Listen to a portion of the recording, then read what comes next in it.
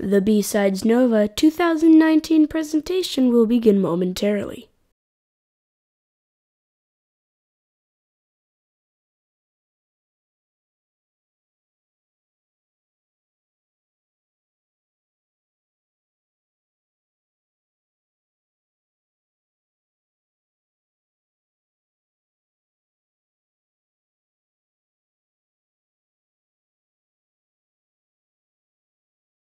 The B-Sides Nova 2019 presentation will begin momentarily.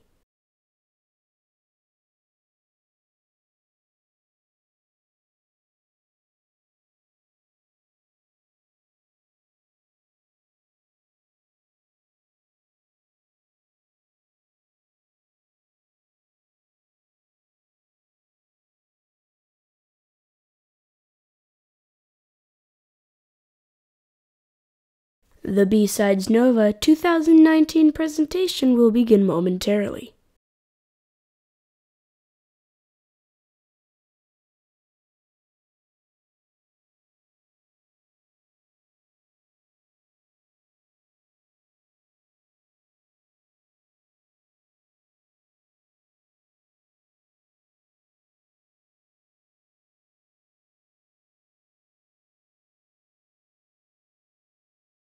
The B-Sides Nova 2019 presentation will begin momentarily.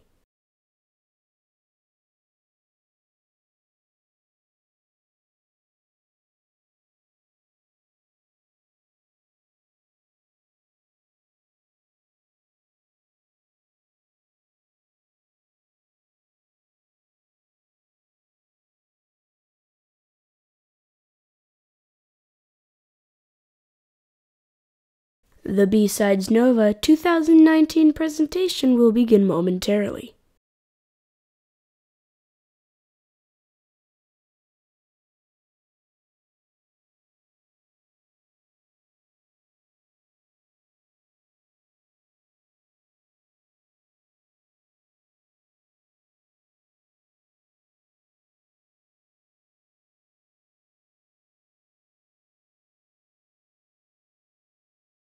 The B-Sides Nova 2019 presentation will begin momentarily.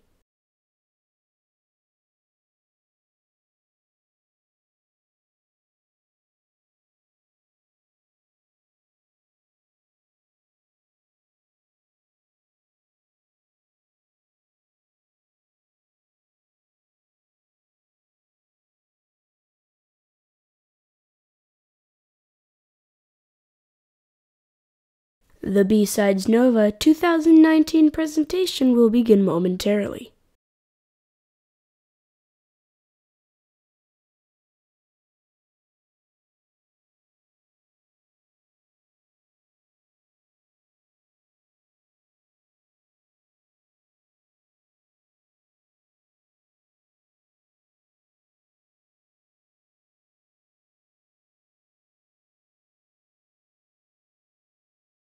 The B-Sides Nova 2019 presentation will begin momentarily.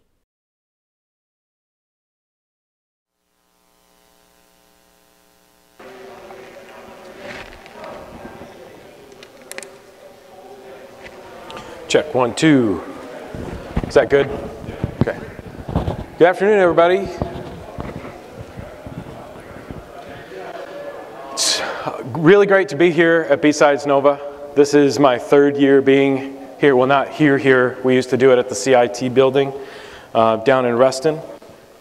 Um, this, this, is our first year at this venue, and I, I think this is awesome. I'm, I'm, i hope we keep doing it here.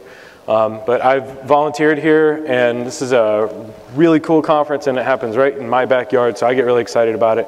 And I'm really glad that all of you are here as well, too. So thanks for coming to my talk about domain fronting. So what I want to talk about today is domain fronting. I want to kind of demystify this issue for people and sort of shine a light on some of the issues that are surrounding this technique and this tactic. So we're going to get a little bit into the technical bits, but then we're also going to talk a little bit about the, the political issues and the, the policy and things that are sort of surrounding this, why it's been such a hotly debated thing, and what you should do about it. So here's the obligatory who am I? Currently, I'm a federal contractor penetration tester red teamer. This is, I'm very new to that. I've uh, mostly been on the defensive side for a long time, so I've done network engineering, um, enterprise IT, um, security analyst, threat hunting, stuff like that, mostly for federal and defense contractors in this area. So I've gotten a lot of experience out of that. It's been a lot of fun. I am a SANS 504 mentor, so I teach that class here locally. So if you're interested in that, yeah, whatever. Um, uh, Nova Hackers, I'd like to give a plug to them too. So there's a few of us roaming around here. There's a local hacker group, a little collective. We meet once a month. Look us up. If you're in this area and you're not a part of it, definitely come check it out. So the overview here, I want to I want to start to demystify the topic, both how it works technically and why, what it sort of takes advantage of, um, how it works, so that you can understand that as well. And then, um, but in order to do that, we have to understand how content delivery networks and cloud service providers work. So the old internet model of you have a web page that you want to serve to the public, and client talks to server, server responds to client, you download a temporary copy of the content, it gets rendered in the browser. That, that whole thing is sort of dead, and there, there are good reasons for that, and we're going to talk, touch on those. And then we're going to talk about what domain fronting is and how it works. We'll talk about the use cases, how, what it can actually be used for, so how and why you would actually do it, right? Then we're going to put on our blue team hat. We're going to talk a little bit about identification. We're going to look at if, if domain fronting was happening on your network, how would you know? How would you go about detecting it? I will touch a little bit on the history, how and when this was discovered, some of the headlines that have been flying around about it. You've probably seen a few of them. I got really curious. I was doing a job where I was sort of self-tasked to research the tactic and figure out what was going on, how it works, um, to see if we could detect it. And so that's kind of how I initially dug into this. And then how and when you should use it. So sort of a level set on content delivery networks. So as I said before, the old client-server model where you have client talking to server, download content, render content, go home, that whole thing is really dead. It doesn't work that way anymore. The new web is a lot more complicated than that. We've introduced complexity, we've introduced a lot of good things. We have performance, we have resilience, we have caching and load balancing and containers and all this great stuff. The web is really decentralized now, whereas it used to be very centralized. So CDNs meet a critical business need, right? If the more clients you have, the more resources you need. So cloud service providers and content delivery networks stepped in to fill that gap. They said, we can make that happen. Well, how did they do that? That's what I want to get into. So here's the old model, right? You got a web server, you've got a whole bunch of clients. Now, I look at this as an engineer and I see a big problem with that. Anybody want to call out what the problem is? Single point of failure, that's a good one. From a availability perspective, what's wrong with this? What if this is a Raspberry Pi? What's the problem with that? Yeah, so a few hundred clients in my little Raspberry Pi is going to be struggling to hold on to life. A few thousand clients, my little Raspberry Pi is going to fall over, right? So this doesn't work anymore. As an engineer, I look at this and I think that's horrible. That does not scale. Right? So we need a technology that allows us to scale these types of resources. But they weren't designed with that in mind. So the new model is more like this. It's decentralized. So what we do is we take that content and we put it much, much closer to the client. We also have multiple copies of that content so we can deliver a lot more content to the client much faster than we used to be able to. This is all introduced to create efficiencies and speed where it didn't exist before. So all of this kind of comes into your experience when you surf the web. So we've got uh, web servers that are now not just single servers, they are farms of servers, right? So it's not client requests server, server responds to client anymore. It's client sends a request to some server, it may be a cluster of servers, it might be a farm full of servers. You don't know which server you're actually talking to. One of those services, servers is going to service your request and answer back to you. You don't know which one. And you also don't know, as I'm going to demonstrate, that you, you don't actually know what server is servicing the end of that request either.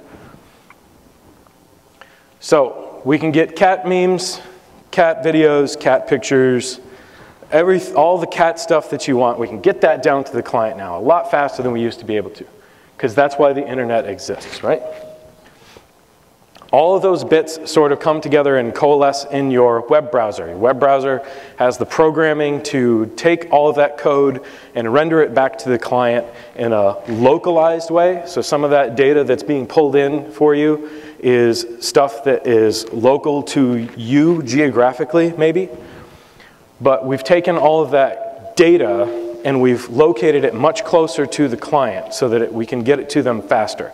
So that in some cases that might mean locating the, the content closer to internet backbones where there are a lot of clients or where they can just get it faster, right?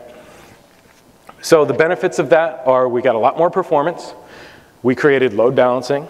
That's pretty cool. We created caching. That's awesome. However, how did we achieve that? Because there is no technology, there's no like RFC that defines a lot of those bits that make this work. So what we had to do was use the existing technologies, the existing protocols, the existing RFCs, and make this work. So that's what they did. They took DNS and they mangled it. They used what are called canonical name records or CNAME records or alias records and mangled those. And basically the, the CDN provider took over control of your DNS records. Now, you, you have options. As a, as a customer to a CDN, you have options of whether you want to manage your own DNS or if you want them to manage it for you. Most customers opt to have the CDN provider manage it for them because it's just easier. They can do a lot of automatic stuff in the background to mangle those DNS records to make sure that your resources scale and make sure that your records repoint to the right place at the right time because the whole, the whole driving force behind this is availability. You want, when clients reach out to your servers, your servers to respond. You want something to answer. So what it does is it manipulates the DNS behavior. And DNS was never really intended to, to act this way. DNS was intended to, to have one record point to one server. But now what we have is records that point to many servers, could be hundreds of servers. But the thing that you're pointing to may not actually be the thing that you think it is. I'm going to demonstrate how that's possible. And this, I think, leads to other issues because this is not the way DNS was designed. So essentially what we're talking about here is inserting a man in the middle between the client and the server. But I would propose to you that it's even worse than that. It's not just a man in the middle. It's a multi-tenant man in the middle. And coming from a defensive perspective, I think about that and I'm not at all comfortable with that. So some network is going to sit between my clients and the servers that they're trying to access, and I don't really have any knowledge, and I don't have any control over what they're doing. That sounds like a recipe for disaster. So that introduces a security risk that I don't think is fully appreciated at this point. So what is domain fronting? So this is, this is sort of my definition. You know, there's no official definition, there's no SANS definition or anything like that. But in my words, it's an undocumented feature of content delivery networks and cloud service providers that allows clients to covertly proxy web traffic. So it takes advantage of a couple of quirks in the way that CDNs handle their customer traffic. So think back to your OSI model. If you've studied for A+, NET+, SEC+, CCNA, any of the Microsoft certifications, you probably remember the OSI model, right? Yeah, I know, they lied to me too. The OSI model, you know, you can look at the different, the different, different layers and you see, you know, source, destination, different protocols that go on at each level. Basically what domain fronting is doing is it's using different destination addresses at different layers of the protocol. So at layer three, we have IP addresses. You have a source IP, you have a destination IP. And that's what most of the world sees. When your traffic traverses the internet, that's what most of the devices out there see. They see where it's coming from and they see where it's going to. You can't see anything inside the packet, particularly if it's encrypted, right? So when you combine domain fronting, this behavior, with encryption via TLS, then this becomes dangerous. Yes, you can do this in unencrypted HTTP, although I don't know why you would. It doesn't really make any sense to do it that way. And that'll become a little more clear when I show you what the packet headers look like. So there's some controversy around the topic of domain fronting because of, of who and how it's been used to this point. And so we'll touch a little bit on those issues as well. But what I want to call attention to is the fact that there is some significant risk that's being introduced here that is not fully appreciated by many of the parties involved in this transaction. So the seminal paper on the topic is a white paper that was written by some UC Berkeley researchers, and it's called Blocking Resistant Communication Through Domain Fronting. It's, it's not a bad read, so I would strongly recommend you read it if you're at all interested. It's, it's uh, well written, there's demonstrations, there's code, so it's, if you want to create a demo of some kind, that's useful. It's a useful starting point. There are lots of good demos and articles. They've been coming out slow, sort of slowly over the last couple of years. I have a slide at the end where a lot of those links are shared. Um, I set up a gist, so if you, are, if you want to have those links, get your QR code scanner ready. Um, and you can scan that, and that will take you to a gist where I have all of the links saved. Um, MITRE ATT&CK has picked up on this tactic as well, so they have a decent write-up on it. It's brief, but it, it explains it the only known use that I can find in public reporting is APT 29, and this occurred mostly in 2015, and it was reported on in 2016. So APT 29, Cozy Bear, Dukes, take your pick. So the way this works sort of looks like this. So on the left, we have our web clients, and on the right, we have the CDN hosting network, and these are the customers of the CDN, right? These are the people who are paying the CDN provider to host their stuff. So they have web applications, websites, servers, code, whatever it is, they have it living in the hosting network. And then on the left, we have the clients that want to access those resources. In between, we have the CDN's edge network, and there are in that edge network, there is a cluster of servers, or maybe, maybe many clusters of servers, whose only mission in life is to accept those incoming connections and then make the decision about how to route those. It's not a routing decision necessarily. It's similar to that, but it's, it happens at layers above, right? So this is the man in the middle, right here, this edge network. And therein lies the problem. So let's look at the headers. How does this actually work? At layer three, we have IP information. We have a source address, we have a destination address, and this is basically all routers care about. If you go a little deeper and you talk about firewalls and web proxies and all that interesting stuff, excuse me, they might care about other bits, right? But the routers only care about source and destination. In a lot of cases, they don't even care about the source. They really only care about the destination because a router's only job in life is to take the, this packet and figure out where to send it. And they're not even concerned about getting it to its final destination.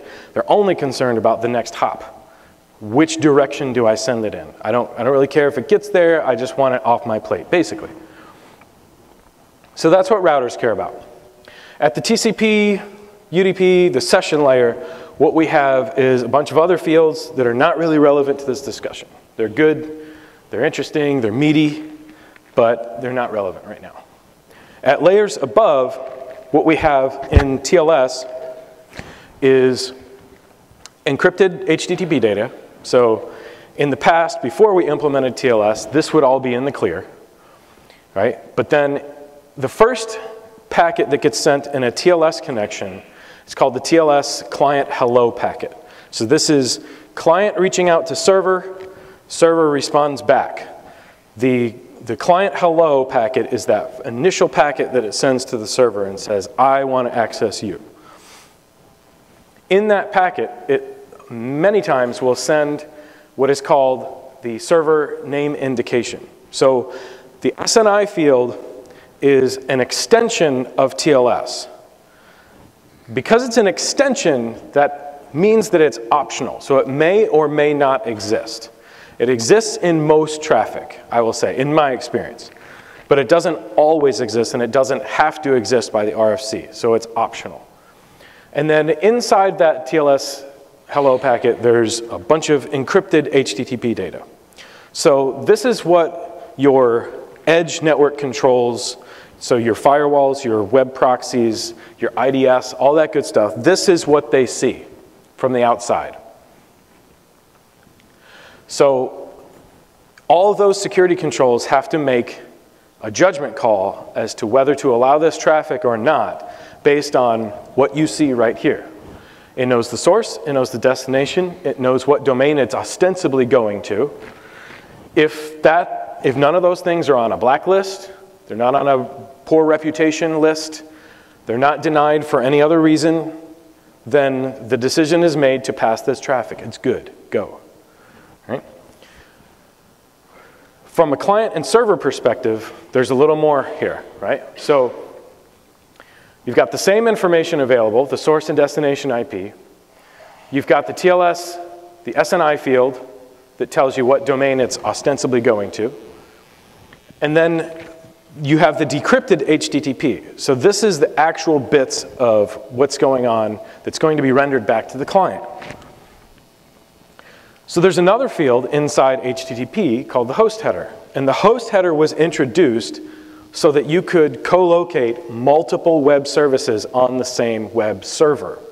It used to be that you could only put one web server, one web service on one web server because it was like, hey, port 80, I can't share port 80 between multiple things. Well, you can now. We introduced a host header that allows the client to specify which website it's actually trying to access. So now you can have a whole bunch of web services co-located on the same server. And the client distinguishes between those using that host header. So in domain fronting, what we see is a bastardization of that. So the source and destination IP are still there, and they still match up. And in this benign example, this is what happens every day in the real world, in non-fronted traffic, right? Destination IP address, oops. Destination IP address, SNI, and host header all agree. They're all going to the same place. No big deal. There's no harm here. There's nothing wrong. However, when we domain front, this and this can agree, but this can disagree. So now we've got a mismatch here. But understand that your web browser will not do this, right? Your web browser is programmed to make all of these things agree with each other. So in domain fronting, what we're doing is we're manipulating what's in here that none of those security controls can see unless you happen to be cracking open TLS at your perimeter um, and manipulating it. So what the content delivery network does when it sees this traffic come in, it decrypts the TLS. Yes, that's really the problem. The CDN is the endpoint.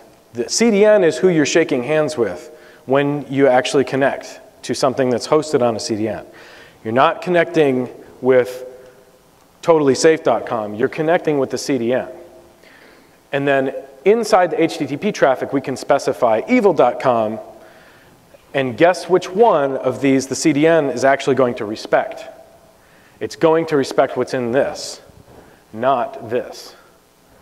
So this is basically a lie, right? This can be true, but it doesn't have to be true. So what are the requirements to get started with domain fronting? If you want to use this, and you probably should. The first requirement is you have to have colocation on the content delivery network, right?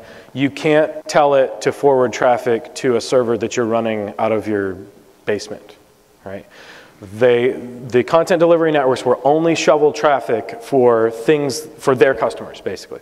So basically, you have to become a customer of the CDN. So you can set up your own web service on, you know, take your pick of providers, and that can be the back end for the domain front, no problem. Basically, basically all of the service providers uh, technically allow this to happen. As we'll touch on in a moment, it may or may not be wise to actually do it, but you'll see why that is in just a moment. And then the fronted domain has to exist. It can't be a fake thing. It can't be you know, just a string of characters, there has to actually be a real domain there. The attack machine with a listener has to field the connection that comes from the CDN edge. Um, and that attack machine, something has to be located on the CDN provider's network, but that, that connection can then be proxied back to something else. So you can eventually get back to the server that you're running out of your basement, but there's another hop in there that has to happen. Whatever feels the connection coming from the CDN edge has to be on the content delivery network, right? So alternatively, you can use a bridge or a proxy. There are some sort of prepackaged services out there that already exist, and they're free that you can use. So they've already constructed a bridge, a backend that will field that connection for you, and you can use those things to browse the web or to connect back to something that you own. So that's pretty cool. So the other thing that you need is some sort of browser script tool. This can be a browser plugin. It can be some Python code that you wrote. It can be just about anything, really. Anything that you can do to create your own web requests can be used to do domain fronting. So little to no coding is required. If you can import a Python library, like requests or something like that, and construct a valid HTTP query and tell it to use TLS, you can probably do this. It's not, not super complicated. So there are a lot of tools already in existence that do this. So Cobalt Strike does it pretty much out of the box. PowerShell Empire can do this as well. Possible with Metasploit. Probably takes some configuration. You can obviously code this up in, in Python. It has to be possible in PowerShell I wanted, I haven't seen anybody do it in PowerShell except for PowerShell Empire. I would like to see some custom PowerShell script that will do this as well. So I'm planning to write that at some point. So architecturally, this is kind of what that looks like. Your, your attack machine lives on the CDN provider's network. Here's the edge node. The victim contacts your attack machine through that edge node. This is probably less likely to see in the wild because most attackers don't want to put all their tools out there on the CDN network because they do scan stuff. So if all of your tools are living on the CDN provider's network, uh, don't be surprised if it gets zapped. Right? This is the more likely machine uh, uh, scenario. So you're going to just put a proxy on there. That's all it's going to do is basically replicate what the CDN edge is doing proxy that connection, and then send it back to somewhere else. So if your attack machine lives in another provider, you can connect back to that. If it's going back to your corporate network, if it's going back to your basement or whatever, it can do that. So let's talk a little bit about the use cases. So now we're getting into a little bit of uh, why this is controversial. So Historically, a lot of the people who have used domain fronting have used it to bypass security controls or free speech controls, right? So we're talking about political dissidents, we're talking about reporters who travel to like really unsafe, unfriendly places, heavily censored countries, anybody who needs to circumvent like free speech controls, whose internet is, is heavily regulated. There's a lot of countries that fall into this category um, they are very hostile to domain fronting because it hides from their security controls. They do not like this. So there's a few messaging apps that do this. The Open Whisper apps, so WhatsApp and Signal support this. Uh, Telegram supports this um, and has subsequently been banned in a lot of countries because of its uh, use of domain fronting.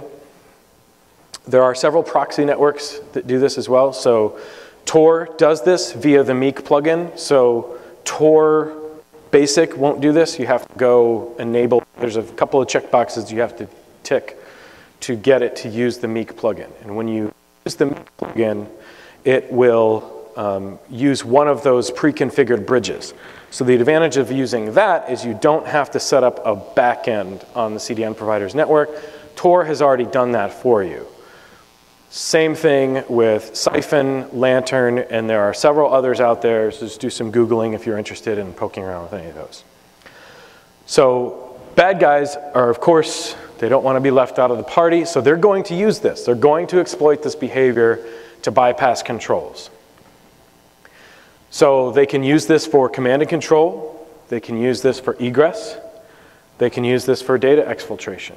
There's if it's hiding from your security controls, why not, right?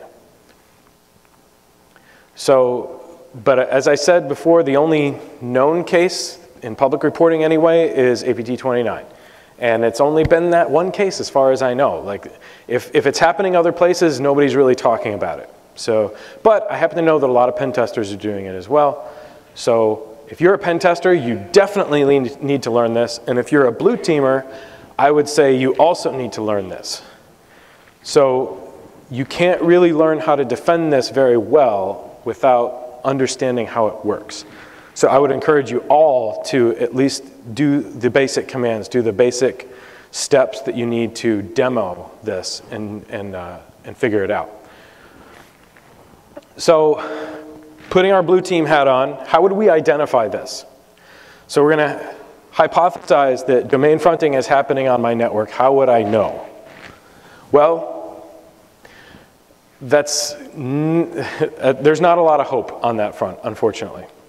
So you can proxy TLS traffic, but in my experience, not that many people are actually doing that. There are a lot of reasons for that. In some cases, there are privacy concerns. So if your acceptable use policy, um, if it shields the, uh, your users from, from basically you snooping on their traffic, then that might not be an option. But also, there are technical risks to introducing a TLS proxy as well. Their track record in terms of security is not great. They introduce their own set of risks. So that's not a great option. It may not be feasible for everybody. Now, if you have it, if you have TLS proxy logs, then absolutely use them, for sure. But it's probably not viable for most people, I'm thinking. So from a blue team perspective, your, your standard like C2 detections, your beacon detections, your data exfiltration detections, um, all those things are still in play, right? The, the traffic is not going to look tremendously different when it's fronted versus regular normal TLS traffic. So if if it's being used to exfiltrate data from your network, then you're going to want to look at the flows. You're to look at how many bytes left versus how many bytes came back. So you're going to look at your producer to consumer ratios. Look for places where the normal ratio is flipped. So in a normal web browsing session, more data comes in than goes out, right? Because the only thing that's really going out is a request. That little request might pull back a whole bunch of data. And so that is a very identifiable flow. If that equation is flipped and a bunch of data left the network and hardly anything came back, something's weird there. You need to look into that. Beacons, So a beacon isn't really going to behave any differently if it's domain fronted or not. You're still going to see some sort of regularity, right? Uh, really long running connections or really high volume connections are weird. So you got to do a little bit of math, you got to dig into it, but that's the job, right? Um, another idea that I had was you could try to cross-reference the lists of frontable domains. So there's a few things out there that are available like on GitHub where they're collecting lists of frontable domains. So they're doing, there's a couple of scripts that you can use um, where you can just you know, query everything that's on a service provider and figure out what's frontable. So there's some people already that are creating big lists off of that. You can borrow that code, fork it or whatever, do a, do a pull request, and tinker with that code. You can maybe run that as a, at some frequency and pull in those lists of domains, and then cross-reference your own traffic with those lists of domains and see if you can figure out if fronting might be happening in there. If any of those look really weird, if they're out of character for your network, then you might want to dig into it. Um, you could find other ways to fingerprint TLS, like the TLS cipher list signatures. So there's a project out of, uh, what's it called? The big uh, Salesforce. So there's, this, there's a, a team from Salesforce that created a project where they fingerprint TLS clients based on the ciphers that it offers to a server. So, and it turns out that it's, it's got a pretty good correlation. So um, fingerprinting TLS clients is a pretty effective way of identifying all sorts of badness. So that's pretty cool. You could start there as well, although that's really not hard to fake either. So you could just use the same libraries that like Firefox uses or something, and you'll, be, you'll look just like Firefox on the network. So none of these is a 100% solution, of course, but all of them are, could, could be effective to some extent. So your standard host-based detections and controls are also in play here as well. You're going to want to make sure that your application whitelisting, if at all possible. I know that's hard and it makes people cringe, but it is really effective when it's done well. So um, if, you're, if you're having problems doing it, like don't, don't give up. Keep fighting for it. It is doable. You're going to want to log everything that happens at the command line interface. You're going to want to log everything that happens in PowerShell. There, the, Microsoft has done a pretty decent job of putting forward uh, the ability to log almost everything that happens in PowerShell. And of course, there are ways to bypass those as well, but for sure you want to eliminate the lowest hanging fruit. So log everything that happens at the command line, log shell histories on your Linux and Unix servers, and centralize all that stuff. And um, I was also clued into just today the fact that there's um, there are API calls, there's uh, debug options that you can use in web browsers that will also log in, a, in debug form um, your host headers. So even in a TLS connection, you can log the host header and the SNI connection, uh, uh, the SNI field that a client is accessing. And that may probably, well, probably will be a part of some EDR tools at some point, if they're not already. Somebody might have knowledge of, of one that actually does that already. so historically, um, I think this was really discovered back in 2012 by Bryce Boe. So he wrote a blog post that established the, the fact that, that a, uh, you could basically access any of Google's services by talking to any of Google's servers. So you could do a DNS request of www.google.com and gmail.com and appengine.com or appengine.google.com or really any of Google's services, and you would get back different DNS responses. But you could send your request to any of those servers and get what you were looking for. So to sum that up, if you did a request to like App Engine and you got back a list of servers, you could try to reach Gmail via those servers and you would still get there.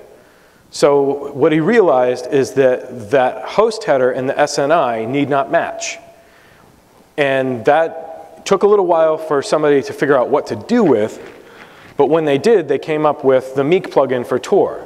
So that was the first appearance of the term domain fronting, so I, I credit the Tor project with, with coining the term. So that's pretty cool. So that's when they, they stood up the bridges and, and released that to the public. In 2015, the white paper dropped from UC Berkeley that, uh, that documented exactly how this thing works. And so it sort of exposed it to the world. At the same time in 2015, APT 29 was using this in a large scale operation. In 2016, FireEye Mandiant, the firm that was called to respond to that incident, um, exposed it as well. So they, they had to wait until 2016 until their, their uh, contain and clear operation was complete to share it, but they shared it at ShmooCon and at DerbyCon later in 2016. So they were the ones that actually got in and got to see what this actually looks like on a network, and they exposed it. So that was pretty cool. In 2016, OpenWhisper announced that they would support fronting on all of those service providers, basically all of them. Uh, there's, you can, you know, these are the ones that OpenWhisper supports, but you can do this on pretty much anywhere. You can do it on OVH, you can do it on you know, all the other ones, foreign, domestic, whatever. I don't know of any service provider that has effectively shut it completely off. So when they say that they've shut it down, I have mixed opinions about what that actually means. But in 2017, Optiv researchers blogged about fronting using Cobalt Strike. So that's a really good write-up. I would highly recommend you read that one. It's, it's fairly detailed. They used actual examples. They, they did it right there, and you can replicate what they did.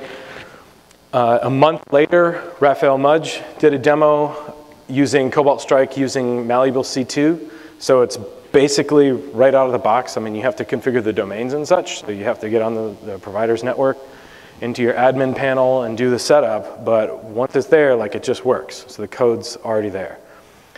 Um, and then in April 2018, Google killed domain fronting on App Engine. And what they really did was they shut down the people that were using this one particular web app to do this. So there was a popular web app that you could just go get off of GitHub, and that was the preferred way to do this um, back then. And so the people that were using that, Google just basically blacklisted that server, so you can't use that anymore. Um, and then a little bit later, Amazon followed suit and did the same thing on CloudFront. And they're also making very clear that they see this as a violation of terms. So they don't want, they're making it very clear that they don't want you to do this. So in May of 2018, privacy advocates began petitioning Google and Amazon to allow domain fronting. So they want them to reverse that decision. Because of all the people that are using this for good, um, they, they want them to reverse that decision and, and basically allow what amounts to a security loophole to exist. So uh, Amazon informed OpenWhisper also in 2018, in, in no uncertain terms, that they see this as a violation of the terms of service and they threaten to suspend the account. So that is, that is the method that they have chosen to shut down domain fronting. So they're making it very clear that they do not like it. They, they, they, don't, they see this as an abuse of their system, and so that needs to be taken to an uh, account.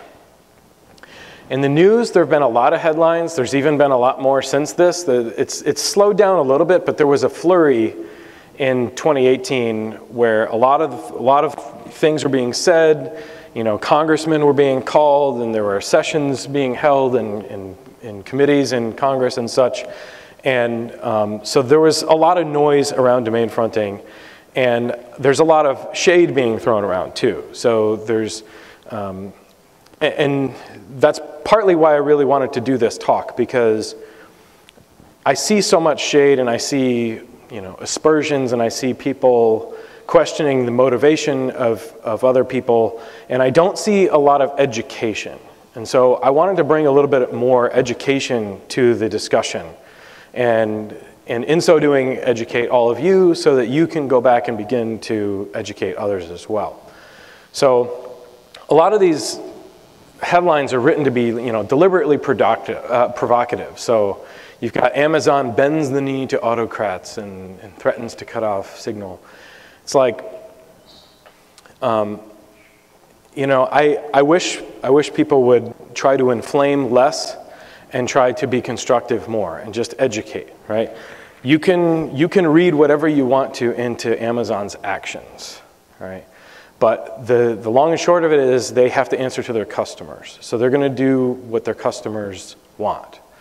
So you know it's bad when the lawyers get involved, right? So now we've got Congress involved. Congress is, uh, there are several Congress members that are leaning on Amazon and Google to reconsider and, and reverse the decision to ban domain fronting.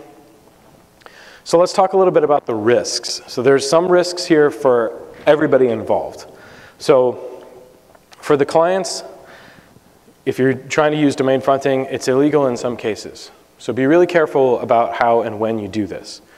If you're a penetration tester, you've probably been read the Riot Act already about being really sure about where your traffic is going.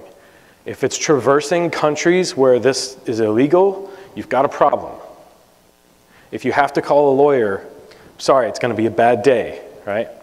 So be really careful. Make sure that your traffic is not going to places where it's going to be illegal. For defenders, the risks to you is that your network security controls that live at your perimeter and many of the ones that live on your hosts are very blind to this. Right? Unless you're doing a really, really good job analyzing your network traffic, you're not going to see this. And even in that case, it's still really hard. We're talking about the very, very, you know, the smallest percentage of traffic. Um, and you're, you're inherently accepting some risk by trusting a service provider. So the, the trust model of you trusting the servers that you're trying to talk to is broken because in order to get to that server, you have to trust the entire provider network that that service lives on. And that's a problem. That's not documented, right, anywhere. So service providers also have some risk here, right? They're running a liability risk because they know of something that could be viewed as a security loophole, depending on who you are and how you look at this, and they're choosing not to do anything about it. So when they've talked about banning domain fronting, all they've really done is shut down some of the common avenues to do it. I know, happen to know a lot of pen testers that are still doing this, right? It, in some cases, it might be a violation of the terms, so be very careful about that. Don't do that. But if if it's not violating the terms or if it's ambiguous, do you think black hats are going to take advantage of that? Yes, yes, they will. So you need to be on that as well. So the service providers have some sort of unacknowledged liability here. I can foresee a day where somebody sues one of these service providers because they refused to close or effectively close a security loophole that they knew about. And if it costs a, some company billions of dollars in loss, they might try to transfer that loss over to the service provider's network. But the good news is for black hats and for penetration testers like me, it's all win, right? We get to use this not with impunity, but we do get to use it, and it is cool. So, what do we do with domain fronting? As a community, we need to figure out where we stand, right? So, there's a few options here we can, we can do nothing. We can leave it alone. Basically, allow it to exist. That option might not be acceptable to everybody, but it would be good for the people that use domain fronting for good. So the people that are using Tor and such to get around security controls because they're reporting from places that are really hostile, you know, this, that, that option is good for them. They, they're firmly in that camp. Right? But that's bad for all the people that are not acknowledging that domain fronting exists or don't know that it exists and they're inherently accepting that risk. Our job as security professionals is to align people's understanding of their risk with their actual level of risk. And if we're not pointing out this problem called domain fronting, we're not doing our job. So to organizational networks, that poses a real security risk that needs to be acknowledged. so the service providers could effectively, immediately affect domain fronting because they can change the way that they handle traffic. They could push out a code update tomorrow that would basically blacklist anything where there's that mismatch. So if the host header and the SNI field don't agree, drop that traffic. But that's not going to happen. Why? Because domain fronting doesn't pose a big enough problem for them to really do anything about it yet. And I also suspect there are at least some cases out there where that behavior is the natural outcome. So to catch all of those cases, you know, maybe what they could do is whitelist certain combinations of host headers in SNI, but I don't think that's going to happen either. That is a maintenance nightmare because somebody has to keep up with that whitelist. That's the, the drawback to whitelist is somebody has to maintain it. Um, they could continue to shut down the bridges, but that's just a game of whack-a-mole, right? They're just going to keep on, hey, this is a problem, shut it down, shut it down, shut it down, but you can just continually spin up new bridges anytime you want. So there's no good solution here. The IETF, taking the long view here, they could do some stuff with the RFCs for TLS that would address this. However, they have no incentive to do so, and philosophically, they also have no reason to do so. So if you go read the, the TLS 1.3 RFC, says right up front, and this has basically been true of every version of TLS and go, even going back to SSL, their goal is to provide privacy, tamper-proof communications. So they don't care about you blue teamers that are watching your edge networks trying to figure out what's going on inside this encrypted stream. That is not their priority. Their priority is creating a secure protocol. So they're actually moving in the opposite direction. If you read everything that's in draft for TLS 1.3 right now, there's new, new things coming out all the time. TLS 1.3 is final, but there are some extensions and stuff that are still in draft. Um, it's moving in the exact opposite direction. Things that used to be in plain text in TLX, TLS 1.2 are now going to be part of the encrypted payload. If there isn't a technical reason for it to be in plain text, they're going to encrypt it. And so it's not, they're not spurning you, blue teamers, but their goal is to provide private, private communications.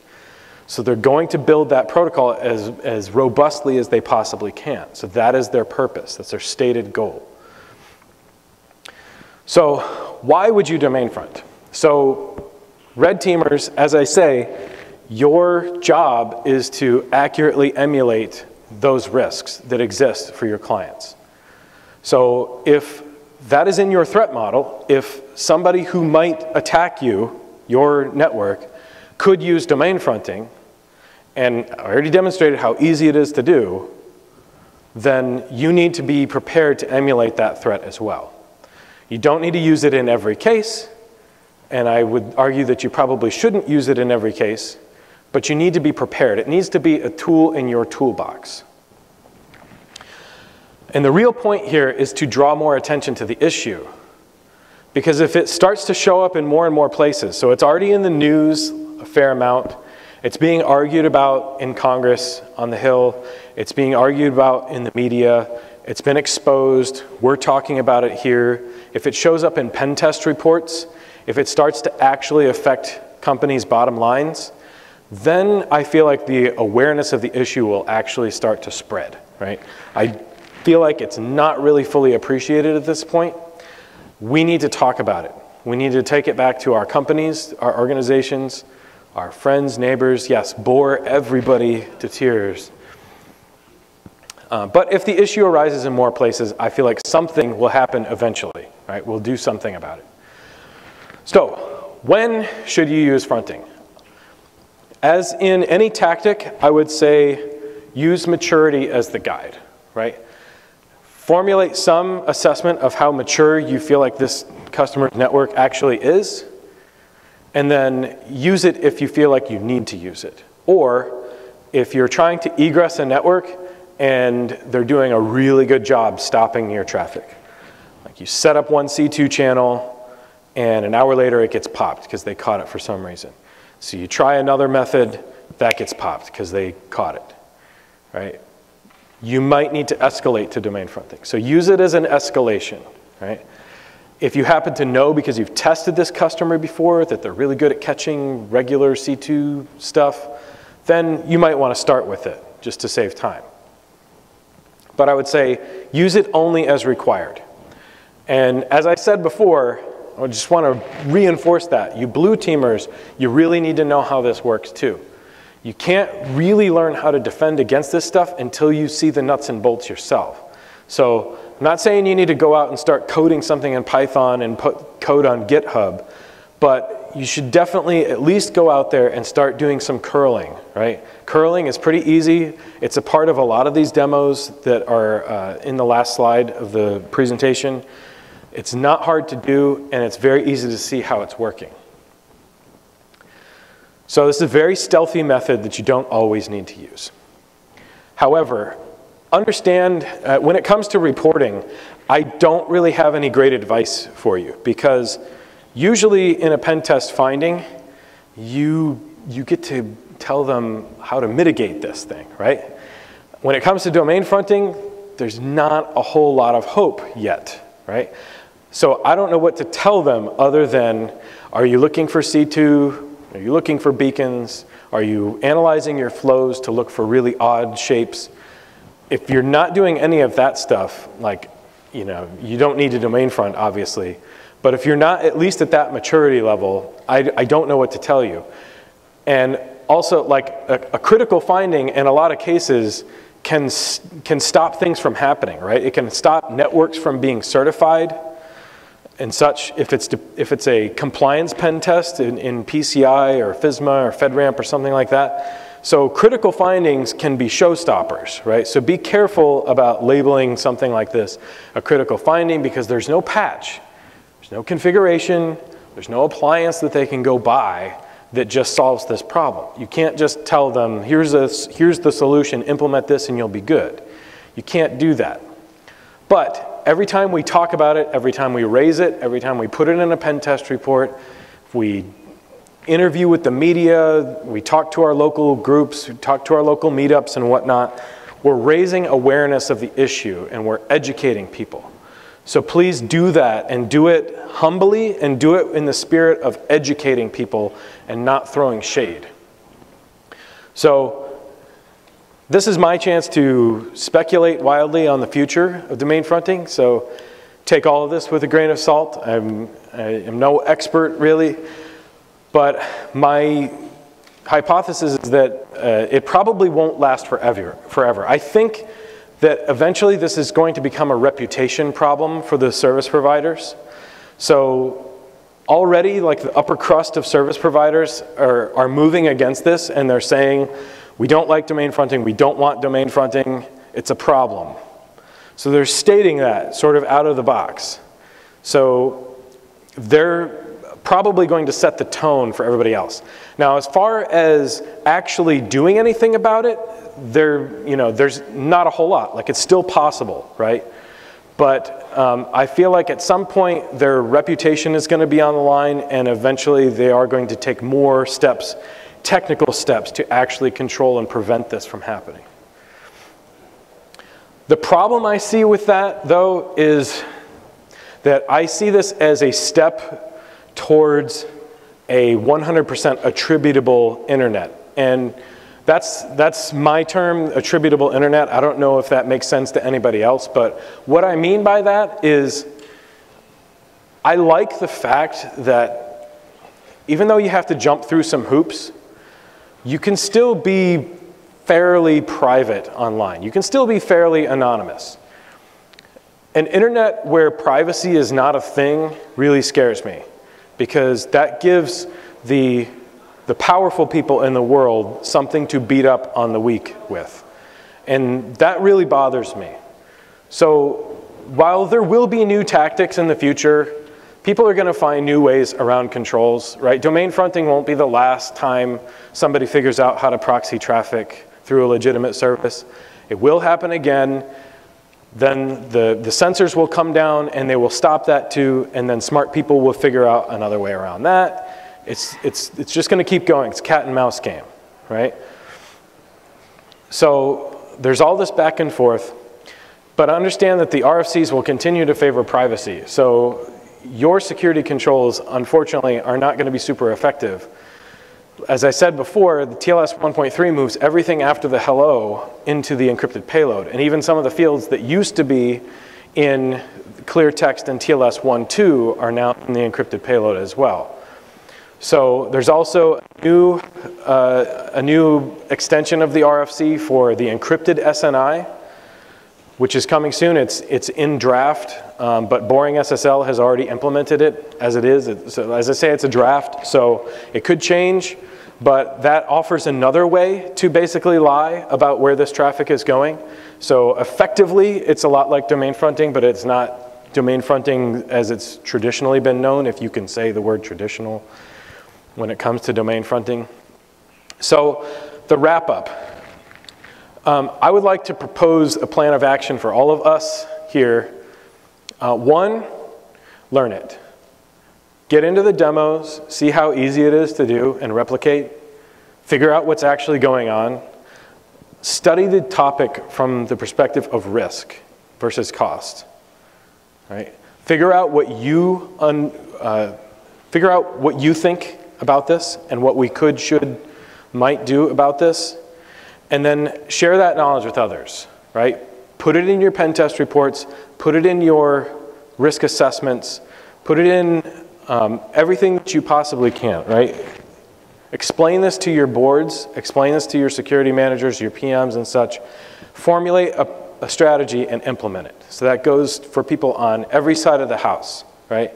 We, risk is the one thing that sort of defines all of us and what we do as security professionals. So if you're coming into this field, if you're new to the field, or if you're looking to get into the field, thank you, thank you, thank you all so much for being here. The fact that you are here is really, really cool. I love this community. I really appreciate that all of you guys have taken the time to come down here and to learn something and to better yourselves because the future of our way of life really depends on it. And I really appreciate um, all of you guys being here. And um, if, you're, if you're looking at all this stuff and you, you don't feel super motivated to do something about it, this might not be the field for you, right? So the fact that you are here is really cool and really meaningful. So I appreciate um, all of you coming and, and uh, listening to my, my stupid talk. And um, thanks for being here. And so just a final note for you defenders, learn how to detect this. Penetration testers, learn how to use it. But above all, voice your opinion. And as always, be excellent to each other. So get your QR code readers out if you're interested in these links. It's all um, in a gist. So, and I'll also, I'll put the slides wherever slides go. Um, so you should be easy to find um, after the fact if you're at all interested. So there's some really good write-ups in there and demos of how to do this. Um, are there any questions? Do we have no time for questions? Okay, so I'll be around. So thank you. Thanks.